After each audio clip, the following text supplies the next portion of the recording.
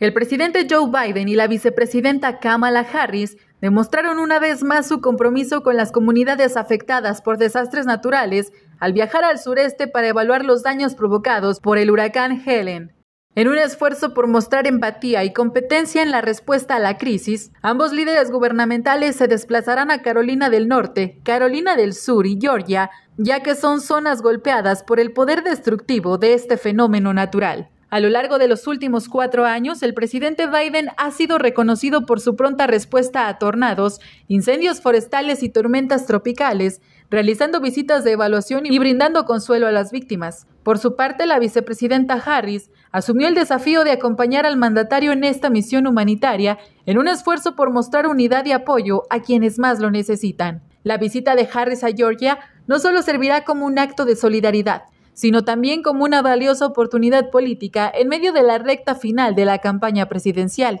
La vicepresidenta espera emular la empatía y cercanía característica de Biden en tiempos de tragedia, demostrando su compromiso con el bienestar de todos los estadounidenses, especialmente aquellos afectados por desastres naturales.